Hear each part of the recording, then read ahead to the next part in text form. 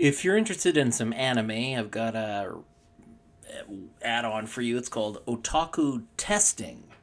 So it's a company add-on with the regular Otaku. So firstly, you're gonna have to go to the gear if you've never done this before, and then click on System. Back up to Display. Work your way down to Add-ons. Move to the right and up. And if yours is checked off like that, you're good to go. But if it's like that, you press it once, you press yes, and you never repeat the step again. Let's go back one screen. Now I need you to move over here to the File Manager and select that option. We're going to work our way down this list to get to the very bottom option that's marked Add Source. Let's double click there. Move over to the blue None, single click.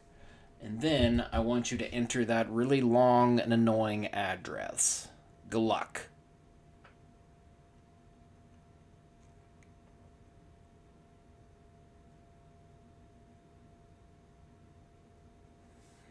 Once you have entered that address, let's press OK. It comes up with the name repository otaku.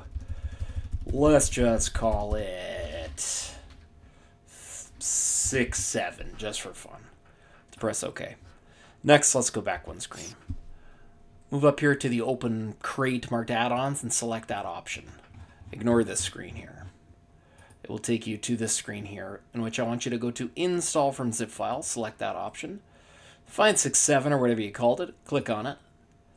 There's the zip file, click the zip, it's going to start to unzip that file and we'll see notification just that quickly called Otaku's testing repo.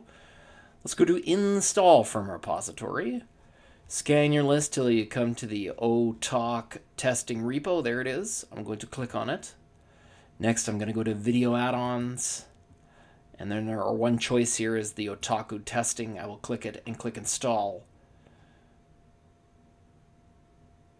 It will install when you see a check mark.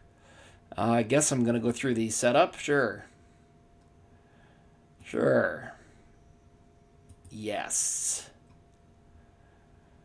English, I'm going to prefer with. Otaku. Yes. Uh, subs. I guess that's it. When you've done that, you can click on it from here and go to open. And there we go. So like I said, this one should pair with the other Otaku. And it's got a lot of stuff, and everything's here, and you want to use them together and uh, enjoy your anime.